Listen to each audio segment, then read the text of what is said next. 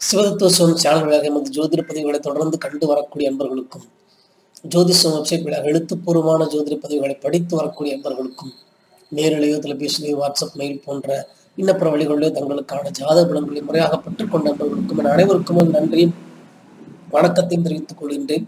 இந்த பதிவின் வழியாக நாம் பார்க்க இருப்பது நவகிரகங்கள் லக்னம் தொட்டு பன்னிரெண்டு ஸ்தானங்கள் வரை இருந்தால் வரக்கூடிய சாதகமான மற்றும் பாதகமான பலன்களை தொடர்ந்து வரிசையாக பார்த்து வருகிறோம். அதில் பத்தாம் வெற்றி பத்தாம் ஸ்தானத்தில் நவகிரகங்களிலிருந்து வரக்கூடிய சாதகமான மற்றும் பாதகமான அடிப்படை பலன்களை இன்று தொடர்ந்து வரிசையாக பதிவாக பார்த்து வரும். அதில் போன பதிவில் ராகு பகவான் பத்தாம் வீட்டில் சாதகமான மற்றும் பாதகமான இருந்தால் வரக்கூடிய அடிப்படையான பலன்களை பார்த்தோம் இந்த பதிவில் கேது பகவான் கேது பகவான் பத்தாம் வீட்டில் சாதகமான மற்றும் பாதகமான இருந்தால் வரக்கூடிய அடிப்படையான பலன்களை இந்த பதிவின் வழியாக பார்க்கலாம். ஒருவருடைய ஜாதகத்தில் ராசி சக்கரத்தில் லக்னத்திலிருந்து எண்ணி வரக்கூடிய பத்தாம் வீட்டில் பத்தாம் ஸ்தானத்தில் கேது பகவான் சாதகமான இருந்தால் வரக்கூடிய அடிப்படையான பலன்கள் என்று பார்க்கும்போது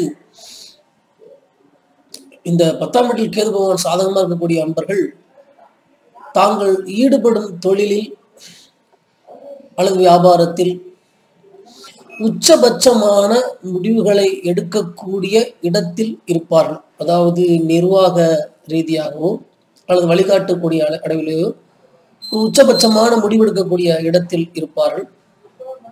பத்தாம் வீட்டில் சாதகமான நிலையில் கேதுவை பெற்றிருக்கக்கூடிய அம்பரன் அதே போல தனது எதிரிகளை அழிப்பார் அல்லது எதிரிகளை ஜாஸ்தி ஏற்படுத்திக் கொள்ள மாட்டார். புத்திசாலி. இவரின் அறிவு கூர்மை மற்றும் தைரியத்தால் புகழ் பெறுவார். அதாவது தாங்கள் செயல்படும் தொழிலுக்குள் அல்லது தங்கள் சமூக வட்டத்தில் புகழ்பெற்ற மற்றும் மரியாதைக்குரிய இடத்தை அடைவார்கள் இந்த கேது பத்தாம் வகையில் சாதகமான இருக்கக்கூடிய அன்பர்கள்.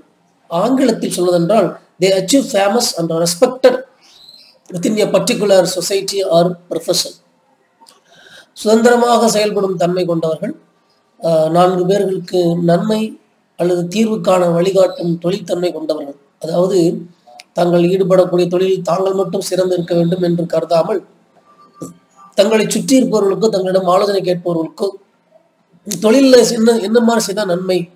அந்த பிரச்சனைகளுக்கு எப்படிப்பட்ட தீர்வுகள் செய்தால் தொழில் நன்றாக இருக்கும் என்பதற் போன்ற ஒரு வழிகாட்டக்கூடியவர்களாகவும் இருப்பார்கள். செல்வம் உடையவர் அதே சமயம் ஆடம்பரமாக இருக்க மாட்டார் பண விஷயத்தில் சிக்கனமாக இருப்பார். வலுவானவர். சமய மற்றும் ஆன்மீக நிகழ்ச்சிகளில் மகிழ்ச்சி கொள்ளக்கூடியவர்களாக இருப்பார்கள். முன்னோர்களின் வாழ்க்கை பற்றி அனுபவம் பற்றி அறிய ஆவல் கொண்டவர். நூல்களை அறிந்து கொள்வார் என்று கூறப்படுகிறது. குரு மற்றும் கேது சேர்ந்தால் குரு கேது பகவானை பார்த்தால் குரு வீட்டில் கேது பகவான் இருந்தால் கேது பகவான் வலிமை அடைந்திருக்கும் போது புனித ஆறுகள் மற்றும் புனித ஆலயங்களுக்கு செல்வது அங்கு பணி செய்வது போன்ற பாக்கியங்கள் இவர்களுக்கு உண்டாகலாம்.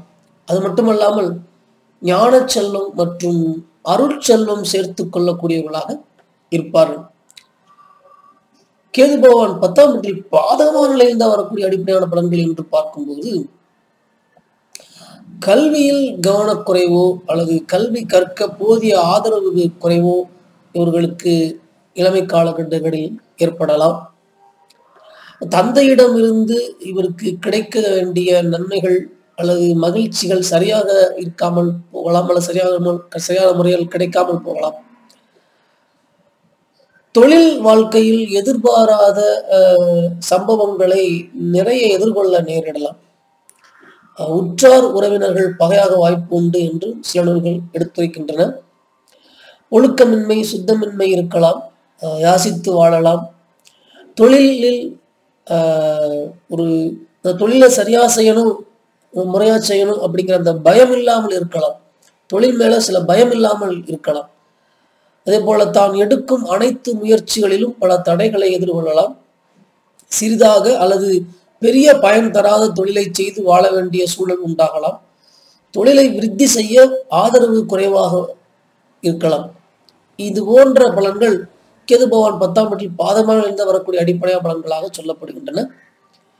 ஆக இந்த பதிவு வழியாக கேது பகவான் பத்தாம் வீட்டில் சாதகமான இருந்து வரக்கூடிய அடிப்படையான பலன்கள் பாதகமான நிலையில் இருந்தால் வரக்கூடிய அடிப்படையான பலன்களை பார்த்தோம். நான் எப்போதும் ஞாபகப்படுத்தி சொல்வதுதான். இந்த கிரகம் தனியாக அந்த வீட்டில் அமரும் போது வரக்கூடிய அடிப்படை பலன்களையே சொல்கின்றோம். சேரக்கூடிய கிரகங்கள் பார்க்கக்கூடிய கிரகங்கள் அந்த கிரகமே பெறக்கூடிய ராசி சாரம் வர்க்க சக்கரங்கள் இளமைகள் கிரகங்கள் அமைந்த சூழல் வாங்கியிருக்கக்கூடிய லக்னம் இது போன்ற பல விஷயங்கள் தனித்தனி ஜாதகத்தை பொறுத்து சொல்லப்பட்ட சாதகமான மற்றும் பாதகமான பலன்கள் கலந்து வரவோ இல்லை சில அதிகமாக சில குறைந்து வரவோ புதிய பலன்கள் சில கலந்து வரவோ வாய்ப்புகள் உண்டு என்பதை ஞாபகப்படுத்திக் கொள்ள வேண்டும். அடிப்படையாக கேது பகவான் பத்தாம் வீட்டில் வரக்கூடிய சாதகம் மற்றும் பாதகமான அடிப்படை பலன்களை தெரிந்து கொள்ள இந்த பத பதிவு உதவியாக இருக்கும் என்று கருதுகிறேன். தொடர்ந்து எமது ஜோதிட பதிவுகளுக்கு ஒத்துழைப்பு தந்து வரக்கூடிய என்பவர்களுக்கும் ஜோதிட சாஸ்திர ஞானம் தந்து வரக்கூடிய இறைவனுக்கும் நன்றி கூறி விடைபெறுகின்றேன். நன்றி வணக்கம்.